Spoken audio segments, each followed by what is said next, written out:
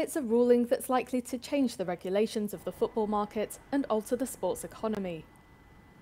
On Friday, the European Union's top court announced that some FIFA regulations on player transfers are not in line with the bloc's legislation. It comes after former France international Lassana Diarra challenged FIFA rules, insisting that they impeded him from finding another club after his contract with Lokomotiv Moscow was terminated. Diarra's four-year deal ended after a year due to him being unhappy with alleged pay cuts.